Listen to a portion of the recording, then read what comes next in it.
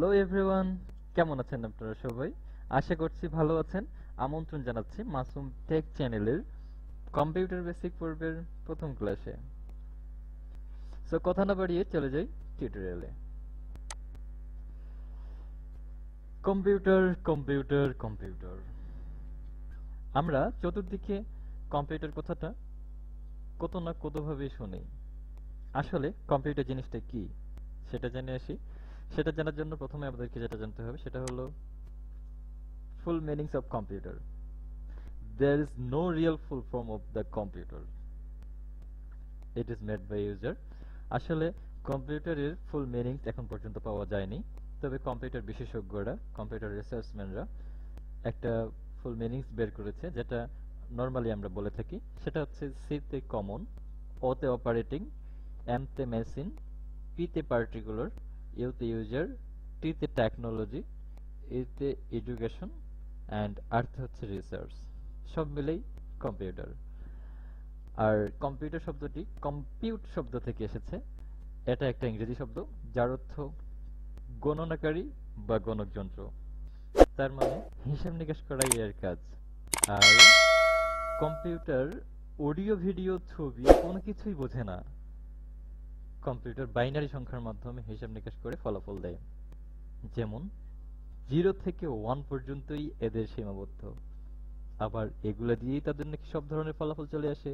আমরা ইভেন যে ছবি দেখি ভিডিও আমরা ইউটিউবের মাধ্যমে দেখি আপলোড করি, বিভিন্ন ছবিকে নির্দেশ করে কমান্ডের মাধ্যমে আমরা ফলাফল বের করি। কিংবা আমরা যে লেখালেখি টাইপ করি সেটা রেসপন্স হিসেবে যেটাই যাবে সেটাই আসে। ঠিক এই ফলাফলগুলো দেওয়ার মাধ্যমটাই হচ্ছে বাইনারি সংখ্যা। তো চলুন দেখে আসি বাইনারি সংখ্যাটা কি। ওরে জ্বালা, এই হলো বাইনারি সংখ্যা। টেনশন করিয়েন না। আর আপনাদের জন্যই এই ভিডিওটা। দেখি, আমরা দেখতে পাচ্ছি, আমরা যদি কিবোর্ড থেকে এ প্রেস করি, তখন ঠিক ন্যানো সেকেন্ডেরও কম সময়ের ভিতরে one zero zero zero zero zero one automatically press হয়ে আমাদের প্রোগ্রামিং ল্যাঙ্গুয়েজের মাধ্যমে কম্পিউটারকে বুঝিয়ে দেয় আর ফলাফল হিসেবে তখন আমরা এ পাই।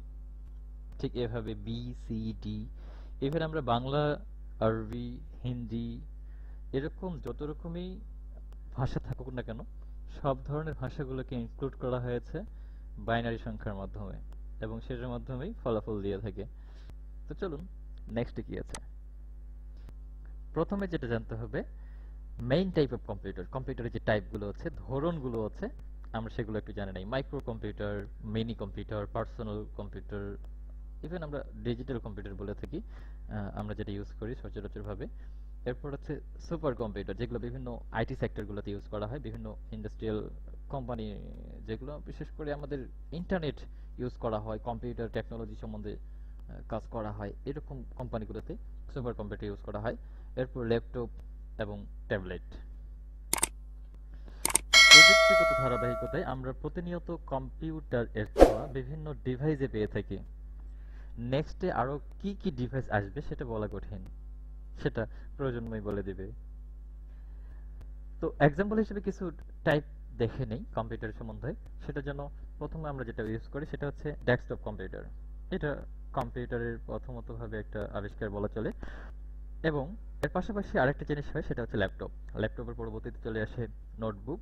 ঠিক এভাবে হাইব্রিড কম্পিউটার চলে আসে একটু হাই রেজুলেশনের জন্য। গবেষণার ক্ষেত্রে বেশিরভাগ হাইব্রিড কম্পিউটারটা ইউজ করে থাকে। পাশাপাশি ট্যাবলেট এবং মুঠোফোন বলে থাকি, সেটা হচ্ছে smartphone. Main part of computer কম্পিউটারের ভিতরে যে মেইন মেইন ডিভাইসগুলো থাকে, তাদের মধ্যে সিপিইউ অন্যতম। আর সিপিইউ তিনটা অক্ষর আসছে তিনটা শব্দের প্রথম অক্ষর নিয়ে। তিনটা শব্দ হচ্ছে সেন্ট্রাল প্রসেসিং ইউনিট তিনটা শব্দের প্রথম অক্ষর টানলে হয় সিপিইউ আর সিপিইউ এর বাংলা মিনিংস করলে আসে কেন্দ্রীয় প্রক্রিয়াকরণ অঞ্চল। নেক্সট মনিটর তারপর কিবোর্ড তারপর মাউস এবারে আদার্স কিছু ডিভাইস সম্বন্ধে আমরা জানি optional part of computer printer, scanner, webcam, modem এগুলো কম্পিউটারের সহযোগী ডিভাইস হিসেবে ইউজ করা হয় বিভিন্ন ফলাফলের মাধ্যমে। বিভিন্ন কাজের ক্ষেত্রে আমরা এসব ডিভাইস ইউজ করে থাকি। আমরা এবারে মাউস সম্বন্ধে জানি। আসলে মাউস এর বাটম দুইটা আমরা সবাই জানি। পাশাপাশি একটা হুইল বাটম, আই মিন চাকা। সেই চাকাটা আমরা কোন আঙ্গুল দিয়ে ইউজ করব। এবং লেফট বাটন রাইট আঙ্গুল কীভাবে আমরা ইউজ করব এবং মাউসটা সচরাচরভাবে যারা প্রথম কম্পিউটার শিখতে আসে, তো এদের বিভিন্ন জড়তা দেখা যায়। তাদের মধ্যে ঠিক এমন দেখা যায়। আমাদের কেউ মাউসটা ধরে আছে দেখেন, ঠিক এই দিক থেকে শুরু করে বাঁকা করে কেমনে জানি ওরে জ্বালা। তখন সে চেষ্টা করে কেমনে আনব এইদিকে কেমনে আনব? এই যে মানসিক একটা টেনশন তাদের ব্রেনটি কাজ করে, তখন আমাদের ফলাফলটা মাউস থেকে সঠিকভাবে পায় না। তো চলে আসি। ঠিক নিয়মটা কীরকম?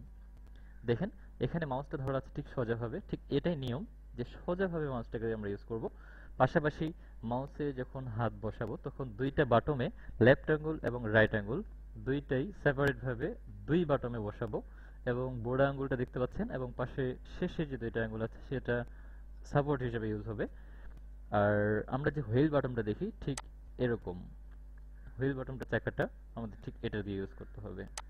তো চলে আসি এবারে মেইন পার্ট অফ সিপিইউতে সিপিইউর মিনিংসটা আমি কিছুক্ষণ আগে আপনাদেরকে বলছি, সেটা হচ্ছে সেন্ট্রাল প্রসেসিং ইউনিট তিনটে শব্দের প্রথম অক্ষর টানলেই আমাদের সিপিইউ হয়। আর সিপিইউর ভিতরে যা যা জিনিস থাকে, ঠিক সেগুলোর ভিতরে মাদারবোর্ড অন্যতম। তারপর আছে processor hard disk RAM cooling fan power supply and CD DVD writer সেটা যে কোনো একটা হতেই পারে। তো বন্ধুরা, ভিডিওটি আর লম্বা না করে আমি এই ভিডিওটি এ পর্যন্ত রাখছি এবং পরবর্তী ভিডিও দেখার জন্য আমন্ত্রণ জানাচ্ছি। আর এছাড়াও নিত্য নতুন আপডেট ভিডিও পেতে আমাদের চ্যানেলটিতে সাবস্ক্রাইব করুন এবং সাথে থাকা বেল ক্লিক করুন। থ্যাংক ইউ ততক্ষণ পর্যন্ত ভালো থাকবেন। আল্লাহ হাফিজ।